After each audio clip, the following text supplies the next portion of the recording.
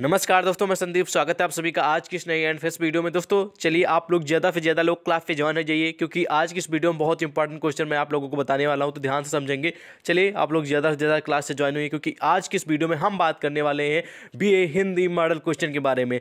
यानी कि जो भी बीए के छात्र हैं, जिनका सब्जेक्ट हिंदी है, वो चार सेमेस्टर के छात्र हों या फिर वार्षिक वाले हों, आप सभी को मालूम है कि इस बार ठीक है, इस बार जो पैटर्न है, नई शिक्षा नीति के अकॉर्डिंग आप सभी के सेमेस्टर एग्ज़ाम होंगे, यानी कि फ़र्स्ट सेमेस्टर और सेकेंड सेमेस्टर यानी कि दो बार एग्ज़ाम होंगे। तो ये वीडियो उन सभी छात्रों के लिए इंपॉर्टेंट है, जिनका एग्ज़ाम 2020 में है और फ़र्स्ट सेमेस्टर के छात्र उनके लिए इंपॉर्टेंट है। यानी कुल मिला के बी हिंदी, मॉडल क्वेश्चन के बारे में बात करेंगे और फ़र्स्ट सेमेस्टर से संबंधित क्वेश्चन होंगे। बहुत इंपॉर्टेंट क्वेश्चन है। अगर आप ध्यान समझ के जाएँगे तो मैं गारंटी के साथ कह सकता हूँ कि इस वीडियो से आपके पाँच में छः नंबर क्लियर हो जाएँगे। यानी कि इस वीडियो से एक, दो क्वेश्चन तो हंड्रेड परसेंट आएँगे ही आएँगे। आप लोग देख लीजिए चाहे।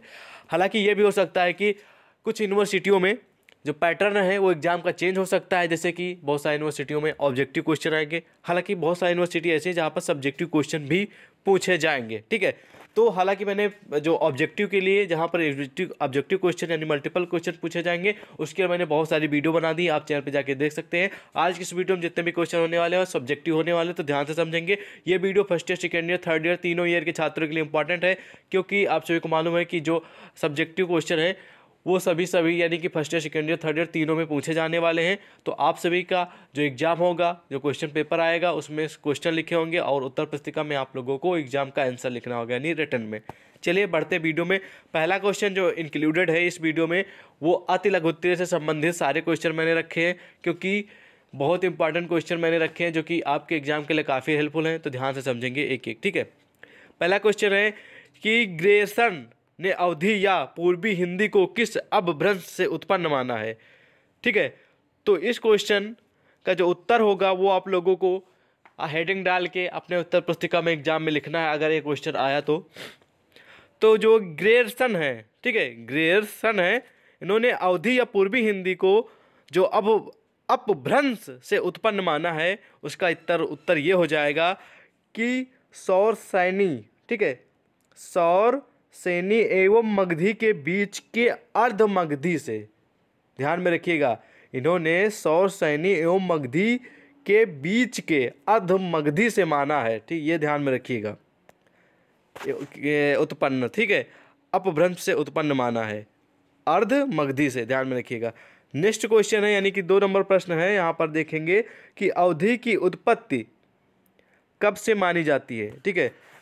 तो अवधि की जो उत्पत्ति है इसका जो आंसर आप लोग पढ़ेंगे, यहाँ पर लिखा है कि अवधि की उत्पत्ति एक हज़ार ईस्वी के आसपास हुई है। यद्यपि इस तिथि को लेकर विद्वानों में मतभेद हैं। कुछ विद्वान इसे नौवीं शताब्दी में तो कुछ ग्यारहवीं शताब्दी में उत्पन्न मानते हैं। यानी कि अवधि की उत्पत्ति के बहुत सारे मतभेद हैं अलग अलग कवि और अलग अलग लेखकों के अकॉर्डिंग कुछ कवि इनका नौवीं शताब्दी मानते हैं, कुछ ग्यारहवीं शताब्दी मान लें, कुछ दसवीं शताब्दी मानते हैं, कुछ बारहवीं शताब्दी मानते हैं तो सभी के मतभेद अलग अलग हैं। लेकिन आपको आंसर में यही लिखना है कि अवधि की उत्पत्ति एक हज़ार ईस्वी के आसपास हुई थी। ठीक है? नेक्स्ट इसी में अति लघुत्तरीय प्रश्न है, ज़्यादा आप लोगों को डिटेल में नहीं लिखना है, क्योंकि ये तो लघुत्तरीय प्रश्न है, न कि लघुत्तरीय नेक्स्ट क्वेश्चन इसी में है कि अवधि की विकास, ठीक है, अवधि की विकास यात्रा को कितने चरणों में विभाजित किया जा सकता है? तो आपको हेडिंग में लिख देना है कि अवधि के विकास यात्रा को तीन चरणों में विभाजित किया जा सकता है, जो कि निम्नवत हैं। तो आप लोग यहाँ पर हेडिंग डाल के यही लिखेंगे। और ये भी आप लोग ध्यान रखिएगा कि अगर आप ये वीडियो पूरा ध्यान से समझेंगे, पूरा लास्ट तक देखेंगे तो गारंटी के साथ कह सकता हूँ कि आपको काफ़ी मदद मिलेगी आने वाले एग्ज़ाम में आप लोगों को। ठीक है? तो अवधि की जो विकास की यात्रा वो तीन चरणों में विभाजित है, जो निम्नवत है। पहली जो है, वो है आदिकाल, जो कि एक हज़ार से पंद्रह सौ ईस्वी तक मानी जाती है। दूसरी जो है, मध्यकाल है, वो 1500 से 1850 ईस्वी तक मानी जाती है। ध्यान में रखिएगा, जो आधुनिक काल है, वो 1850 से अब तक, यानी कि करंट में जो चल रहा है प्रेजेंट अब तक माना जाता है आधुनिक काल। ये ध्यान में रखिएगा कि अवधि के विकास को तीन चरणों में विभाजित किया है, आदिकाल, मध्यकाल, आधुनिक काल। आधुनिक काल, तीनों के सामने आप लोगों को उसकी तिथि लिख देनी, कब से कब, कौन थी, ठीक है? ये लिख देना है। समझ में आ गया? ओके? नेक्स्ट क्वेश्चन है कि आदिकालीन अवधि की प्रमुख रचनाओं के नाम बताइए। तो आदिकालीन अवधि की जो प्रमुख रचनाएँ हैं, उनके जो नाम है, वो निम्नवत हैं। ठीक है? तो निम्नवत जब आप लिख देंगे तो उसकी नीचे हेडिंग आप लोग लिख बनाएँगे तो वहाँ पर नंबर एक करके या फिर कॉमा करके, जैसे आप लोगों को सुटेबल या बेटर लगे, वैसे करिएगा। कोई ज़रूरी नहीं कि कॉमा करके लिखें, आप नंबर वाइज भी लिख सकते हैं। तो जो प्रमुख रचनाएँ हैं, उनकी जो नाम है वो है हेमचंद्र कृति दूसरी है देसी नाम माला और तीसरी है दामो, ठीक है, दामो दर पंडित कृत। और अगली है उक्ति व्यक्त प्रकरण।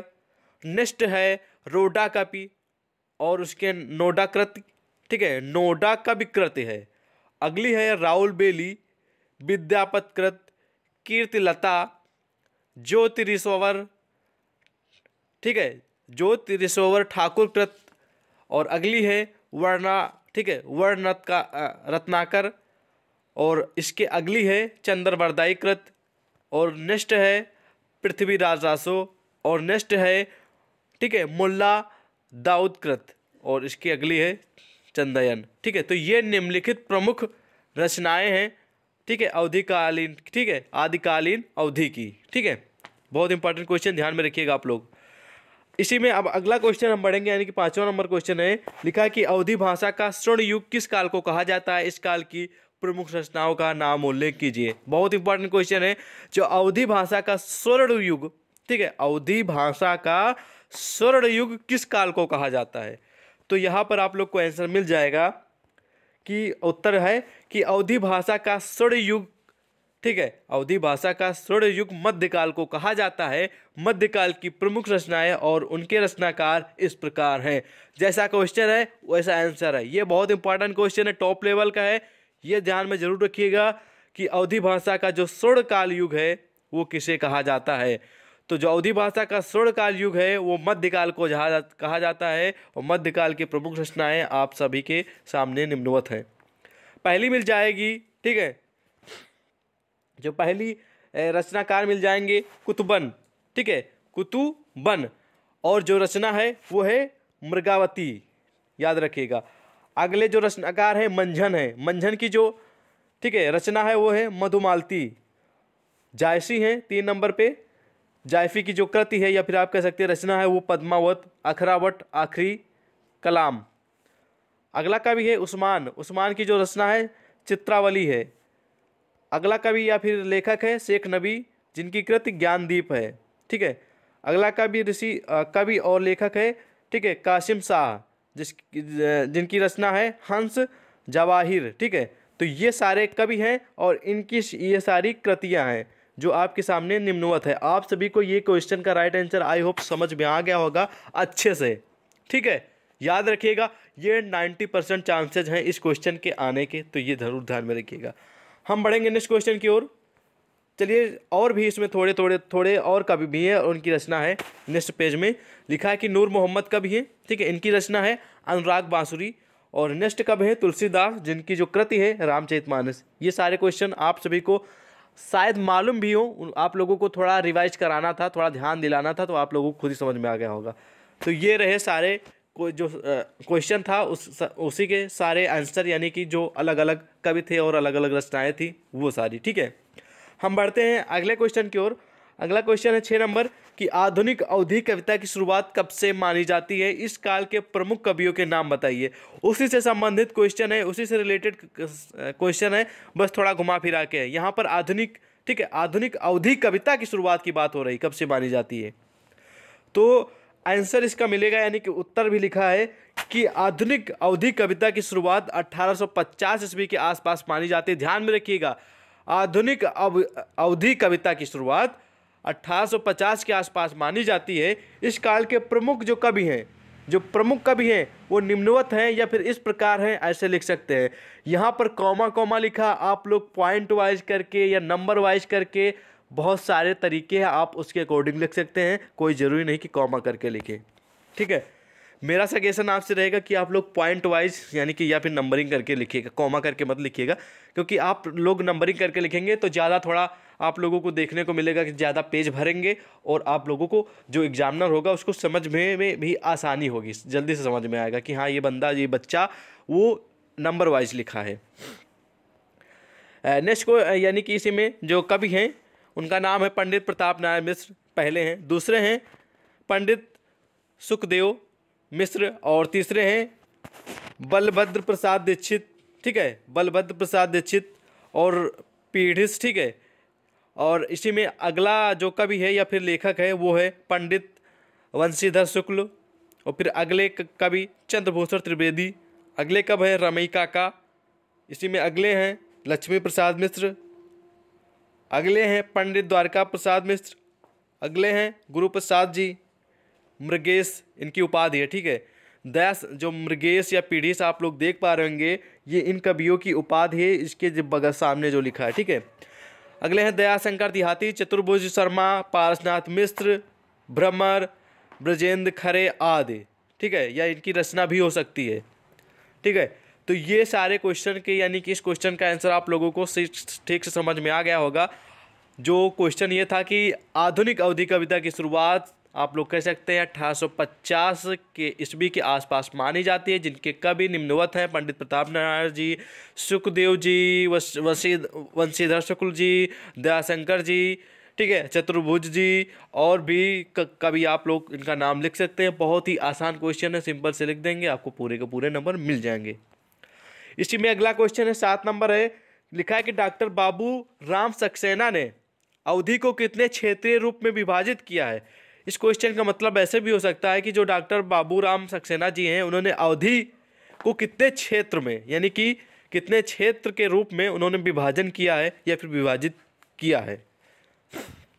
तो इसका जो आंसर हो जाएगा, उत्तर हो जाएगा, वो हो जाएगा उत्तर डॉक्टर बाबू राम सक्सेना ने अवधि को तीन क्षेत्रीय रूपों में विभाजित किया है, जो कि निम्नवत या फिर निम्नलिखित है।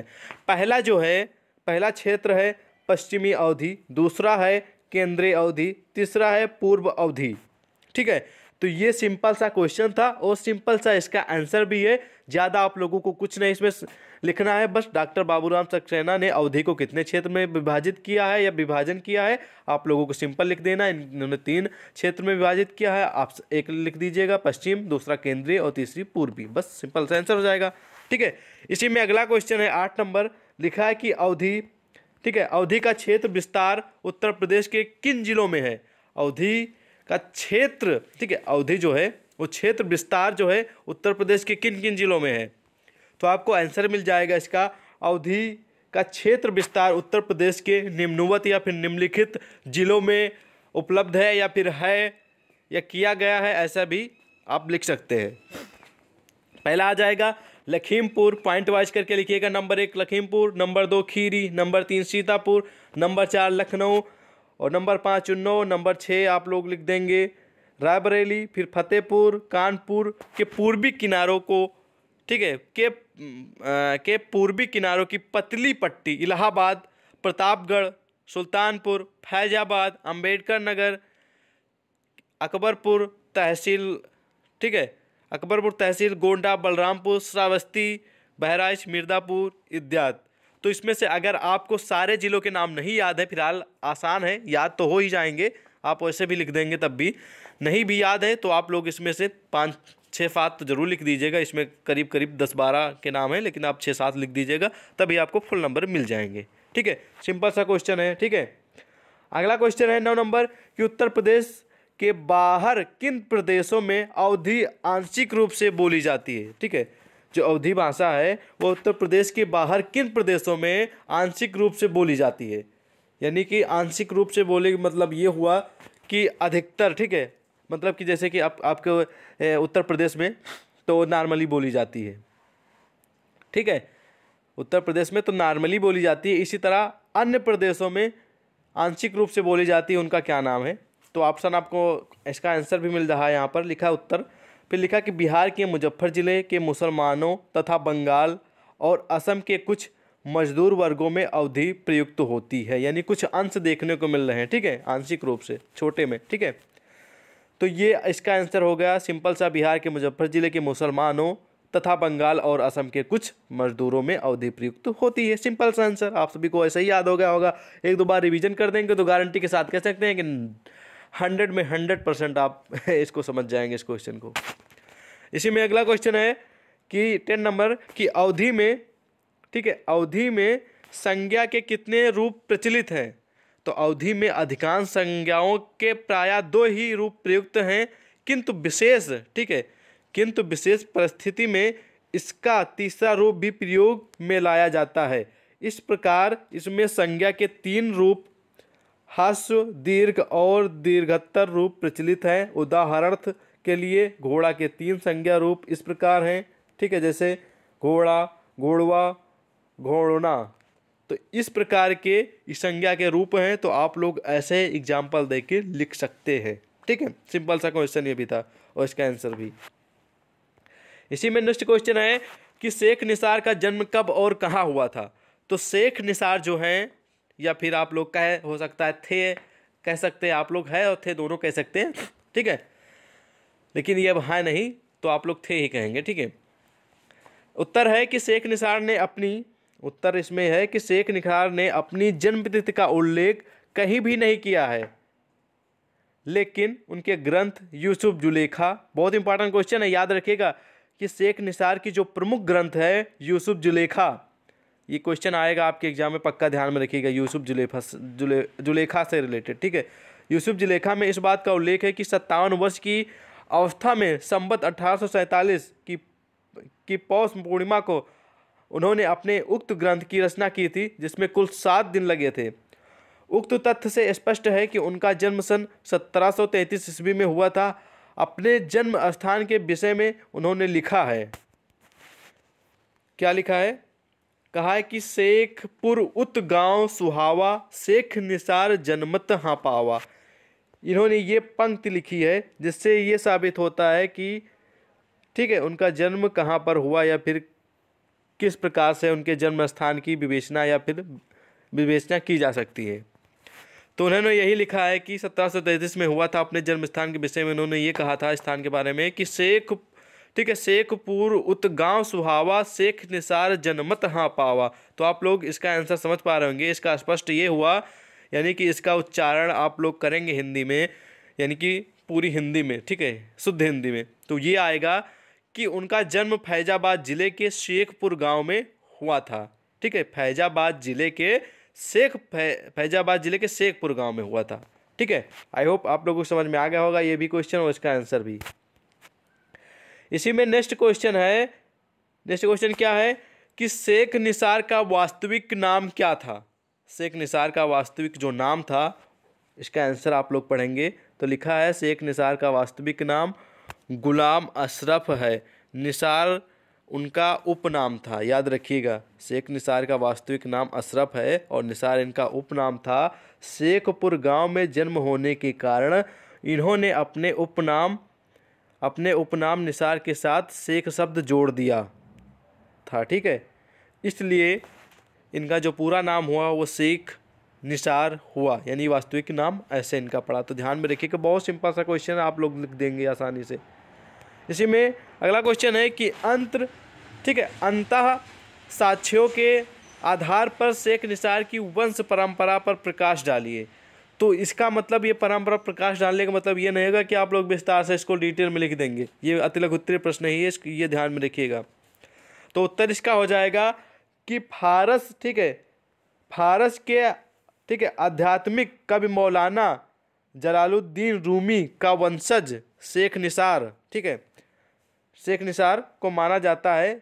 वस्तुतः मौलाना रूमी के वंशज शेख हबीबुल्लाह ने अवध क्षेत्र में शेखपुर नामक गाँव बसाया था। इसी गाँव में शेख निसार के पिता शेख गुलाम का जन्म शेख हबीबुल्लाह के पुत्र में हुआ था। शेख निसार के एकमात्र पुत्र लतीफ़ की मृत्यु बाईस वर्ष की अवस्था में हो गई थी। बस यही वंश परंपरा का मतलब इनका वंशज इनके पिताजी कौन थे? ठीक है। और कहाँ के रहने वाले थे?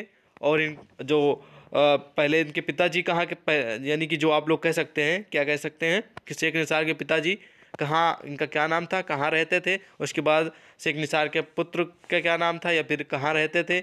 उनका देवासन कब हुआ था, बस यही वंश परंपरा, यानी वंशज, दर पीढ़ी बाई पीढ़ी मतलब इसका हुआ, ठीक है? उसी के बारे में आप लोगों को लिख देना है बस। तो इस आंसर में आप लोगों को समझ में आ गया होगा आसानी से, ठीक है? इसी में अगला क्वेश्चन है कि शेख निसार के कौन कौन ठीक है? शेख निसार के कौन कौन, नहीं, यहाँ पर क्वेश्चन थोड़ा आप लोग देख पा रहे होंगे। इरेज हो गया यानी मिट गया। तो शेख निसार के पास कौन कौन थे? स्पष्ट कीजिए यह क्वेश्चन नहीं आंसर आंसर नहीं हो सकता, यानी कि यहाँ पर क्वेश्चन का मतलब कुछ और हो सकता है। गेस क्या करें? क्योंकि मिटा हुआ यहाँ पर। शेख निसार के गुरु कौन थे? हमने गेस कर लिया। शेख निसार के गुरु कौन थे? स्पष्ट कीजिए। तो आंसर इसका हो जाएगा, शेख निसार के गुरु, उनके पितामह, ठीक है? उनके पितामह शेख हबीबुल्लाह थे। यानी कि जो शेख निसार के गुरु थे, वो उनके पिता ही जी थे, जिनका नाम हबीबुल्लाह था, ठीक है? शेख हबीबुल्लाह ने शेख निसार को मौलाना, ठीक है? मौलाना रूमी द्वारा स्थापित मौलवी संप्रदाय में दीक्षित किया था। निसार ने अपने गुरु के प्रति अपना भाव इस प्रकार व्यक्त किया। तो एक पंक्ति है, इसमें आप लोग पढ़िए और हम आपको सुना रहे हैं। ठीक है, आप पढ़ भी सकते हैं, हम आपको बताएँगे तो ही। लिखा है कि, सबहे गुरु कर गुरु सुहावा, सो हम गुरु वह जहाँ मह आवा। जह सो गुरु के द्वा, द्वाव जग आशा अवर गुरु के भूख न प्यासा। ठीक है, इन्होंने ये भाव प्रकट किया। ठीक है, इस प्रकार व्यक्त किया। ठीक है तो आई होप इसका भी आप लोगों को आंसर मालूम हो गया था सिंपल था, आप लोग समझ गए होंगे। ठीक है? इनके पिता ही जी, इनके गुरु थे, जो कि जिनका नाम था हबीबुल्ला इसी में नेक्स्ट क्वेश्चन है कि शेख निसार की रचनाओं का नामोल्लेख करते हुए उनका साहित्यिक, ठीक है वैशिष्ट बताइए। तो उत्तर आप लोगों को मिल जाएगा कि शेख निसार, ठीक है, शेख निसार की महत्वपूर्ण एवं चर्चित कृत यूसुफ जुलेखा है। बहुत इंपॉर्टेंट क्वेश्चन है। शेख निसार देखो आप लोगों को सिंपल से लिख देना है कि शेख निसार की महत्वपूर्ण एवं चर्चित कृत यूसुफ जुलेखा है। उक्त रचना के अतिरिक्त इन्होंने मेहर, यानी कि यूसुफ जुलेखा जो ग्रंथ है, इसके अलावा इन्होंने मेहर, निगार, रसमनोज, दीवान, मसनवी, स्रोदी, नस्त्र और नसद्र नसत्र आदि का सृजन या फिर रचना किया।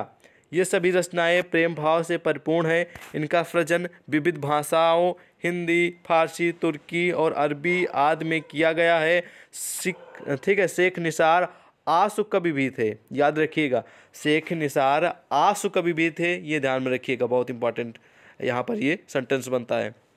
और आगे लिखा है कि उक्त रचनाओं से इनका साहित्यिक वैशिष्ट, ठीक है, वैशिष्ट परिलक्षित होता है। उनके ज्ञान और भाव का ही परिणाम था कि यूसुफ जुलेखा जैसे प्रेमाख्यान की रचना मात्र सात दिन में कर दी गई है। बहुत इंपॉर्टेंट क्वेश्चन यहाँ पर आपके एग्ज़ाम में ये भी आ सकता है कि जो शेख निसार की प्रसिद्ध रचना या ग्रंथ यूसुफ जुलेखा थी, उसकी रचना कितने दिनों में की गई की गई थी? तो आप लोग उसका आंसर ये लिखेंगे कि इनकी जो रचना है प्रेम जुलेखा, जो कि प्रेमाख्यान रचना है, जो कि मात्र सिर्फ़ सात दिन में इसकी रचना हुई थी। बहुत इंपॉर्टेंट क्वेश्चन है, ध्यान में रखिएगा। अगला क्वेश्चन है, इसी में फ़िलहाल इस क्वेश्चन की बात जो यहाँ पर आप लोग देख लेंगे इसके बारे में हम अगले दिन बात करेंगे। ये आप लोग देख लीजिए कि शेख निसार कृत यूसुफ जुलेखा किन किन ग्रंथों का प्रभाव परिलक्षित होता है। इस क्वेश्चन के बारे में हम नेक्स्ट डे बात करेंगे और हमने पूरे के पूरे पंद्रह क्वेश्चन और पूरे पंद्रह आंसर यूसुफ, यानी कि यूसुफ जो इनकी कृति है शेख निसार जी की, ठीक है? उसके बारे में मैंने पूरी जानकारी आपको दी। शेख निसार से संबंधित जितने टॉप लेवल के क्वेश्चन बनते थे, मैंने आपको बताए। आई होप आप लोग समझे होंगे। और मुझे उम्मीद है कि आप लोग इसको पढ़ेंगे और एग्ज़ाम में आप लोग अच्छे मार्क्स लाएँगे। और मैं आपको ये बताऊँगा कि आपको वीडियो कैसी लगी। आप लोग कमेंट में ज़रूर बताइएगा। और कुछ क्वेश्चन है, कुछ आप लोगों को सुझाव है तो बेशक कमेंट सेक्शन आपके लिए खाली है। कुछ पूछिए, कुछ आपको लोग कहिए उस पर आपको वीडियो कैसी लगी? नेक्स्ट क्वेश्चन यानी कि नेक्स्ट कौन से सब्जेक्ट का मॉडल पेपर चाहिए कमेंट सेक्शन में ज़रूर बताएँ। वीडियो के डिस्क्रिप्शन में आप लोगों को टेलीग्राम चैनल का लिंक मिलेगा। ज्वाइन होइए, मिलते हैं नेक्स्ट वीडियो में। तब तक के लिए जय हिंद। ये सारी पीडीएफ आप लोगों को टेलीग्राम पर मिल जाएगी, इसलिए ज्वाइन हो जाइए।